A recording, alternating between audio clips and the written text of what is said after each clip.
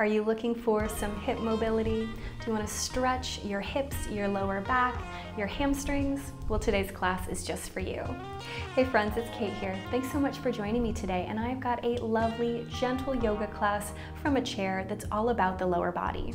It's one of my favorite ways to be so kind to my hips. Whether I'm feeling tight through my hamstrings, maybe my IT bands, even deep into the piriformis muscle, these are some very gentle stretches that can hit all of those awfully complicated places. No props are needed, just a seat. Go ahead and grab your chair and let's get started.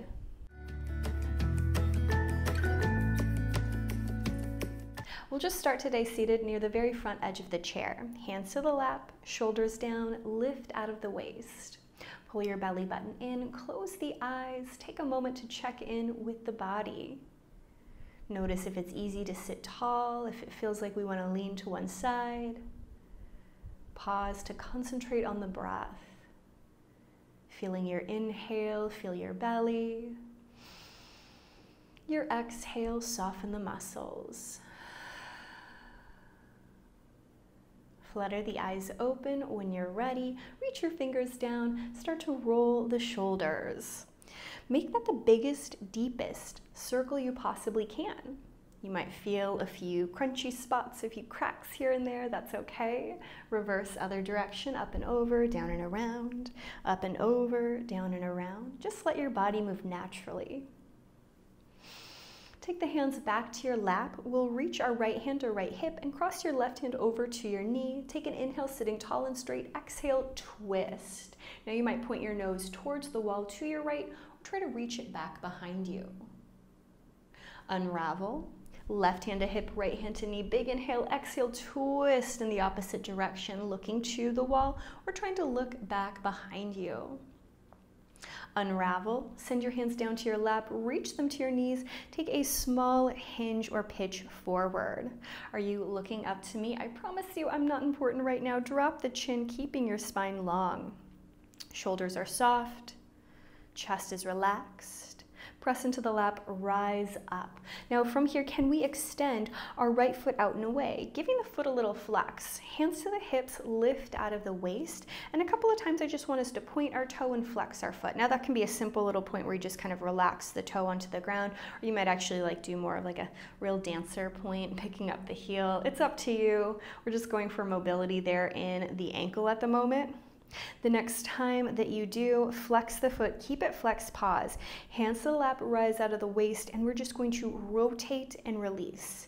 Now this rotation, it comes way up high from the ball and socket joint, so I am rotating way up here. My knee, my ankle, my toes, they move in space because the top of my um, hip, the head of my femur is moving in that ball and socket joint.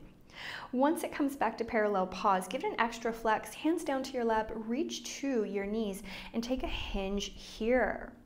Keep pulling the toes up to the kneecap. Feel that deep stretch for the back of the leg. Open the chest, reach the head a little higher. Press into the lap, rise up. Now once more, I want you to externally rotate and pause. Think about your inner thigh, kind of pointing or reaching up to the sky. And then same hinge. Notice with that external rotation where we feel that different in our hip, in our body. Of course, if there's a bend in the knee, that's perfectly fine. If we can keep it straight, amazing. Take a big pause, take a big breath, rise back up. Point your toes up to the ceiling, bring the leg in, extend your opposite leg away. Now again, at first we're just starting with our point and our flex, finding mobility there for the ankle. Taking that point and flex at your pace. Even though this is about the lower body, still think about lifting up and out of the waist, separating the shoulders, reaching the top of the head nice and high. Flex and pause. Hands slide down to the knees. Find your hinge. Remember, when we do these hinges, it's not about how close your heart, your chest comes to your leg. It's finding the length in the back of the body, only going so far that we don't start to round or don't allow our shoulders to rise up. We want to feel comfortable. Push and rise up. Now let's take that external rotation, return. So we're finding that lovely movement there in the hip. Rotate, release. You may notice one side feels a little more natural or has more range of motion to play with. That's normal. Our bodies are different side to side. We're just going for your deepest range of motion. This time, rotate the leg open, pause, hands to the lap, lift out of the waist. Again, stretch the fingers down and take your hinge, pulling the toes up to the kneecap, even here. Once more, with that external rotation, we might notice this feels very different, perfectly normal. Take a pause, take a breath when you're ready. Rise up to a seat, rotate the leg in, bring it back. Now from here, I want you to pick up your right heel and you're either going to cross at your ankle or cross at your knee. Both options are great. Whether you're at the ankle or the knee though, take a moment to let yourself settle and feel what that position looks like for you. Everyone's seated figure four is going to be a little different.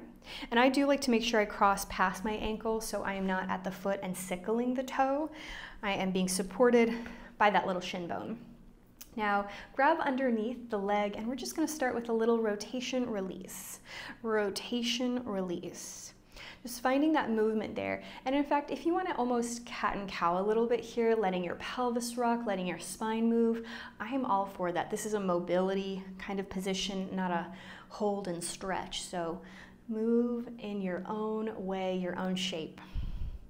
If you can though, sit up tall, sit up straight, pull the knee into the chest, and you might hug around. I'm thinking about pulling the inside edge of my right knee towards my sternum. Your chest can twist a little bit. You might find it feels better to either keep both shoulders pointing to me or to actively twist to the right. Both options are great. See what feels good for you. Take one more breath release. Let the hand left, oh, I'm so sorry, let your hands rest on your lap, rise out of the waist, and find that same hinge we've been doing today. Now we might notice that this feels quite different than when we had our feet parallel on the floor or extended. Obviously, taking our leg in a figure four is really going to change where we're experiencing those stretches. Take a full big inhale, push into your lap, rise up. Now, this time, lift out of the waist, take that same hinge we've been doing today, and I want you to take your left hand to your hip, your right hand over to your ankle, take a big inhale and twist to your left. I like to drop my elbow down towards kind of my knee so my shin is just resting on the leg there. If you don't look 100% like me, that's okay. Not only can we stay twisting to our left, you could extend your left hand up and away. That might be too much, no big deal if it is. Full big inhale let that go. This time, drop the chin to chest and round over the body. Pretend there's a big beach ball sitting in front of you and you're just draping over the beach ball. Lightly push into the leg, roll yourself up to seat, and unravel the first leg. Give it a wiggle, give it a shake. We might feel a little funky there and that's a-okay. Second side, again, we can cross at the ankle. This is a perfectly wonderful figure four, or we can cross at the knee.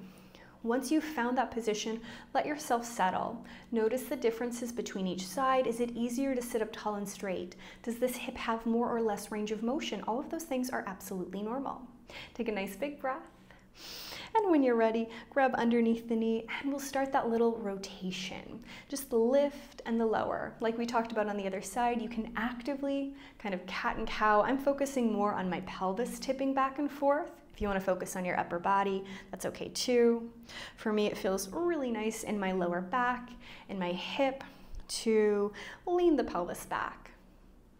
When you're ready, do try to sit up tall, hug the leg in. You might reach around and give it an extra hug. Once more, it can feel good to stay facing me or you might actively twist to your left. I find this does get deep into my glutes, almost my piriformis, um, getting a deeper stretch there. Everyone feels it in a different place. It's perfectly fine if we don't feel it exactly the same. Let that go. Hands to your lap, rise out of the waist, a little hinge forward. Notice where your chin is pointing. Even though it seems like such a small thing, I promise having your neck in line with the rest of your spine does make a difference. So we're not drooping it down, nor are we craning it to look at me. Full big inhale, push into your lap, rise up. Now we'll do that again with our twist. Start with a little hinge forward. Take your right hand to hip, left hand to ankle, turn to your right. Now again, I like to drop the forearm down. If we don't look the same, it's okay. You might just concentrate on looking past or maybe extending the arm up. I like to wiggle the finger, making sure there's no tension there in the hand. Take a big inhale. Hand comes down, drop the chin to chest, push so you can lean back and round. Remember, we're draping over the beach ball here. Nod the head, yes. Shake it, no. Roll yourself up to a seat. Gracefully or awkwardly unravel the legs, set them down, and just find a nice, easy seat. Close the eyes, take a moment of pause. Noticing what 10 minutes can do for your body. Maybe if we feel a little more relaxed, maybe we feel like we can sit up taller and straighter. Perhaps you're just proud of yourself for showing up and moving your body today. Let your ears lift a little higher. Let your shoulders separate a little more. Take a big, deep breath in. Exhale, bow your chin to chest. Flutter the eyes open when you're ready. Look forward, and of course, give yourself a pat on the back. Thank yourself for doing something so good and just for you. I certainly hope you enjoyed class. I cannot wait to see you again.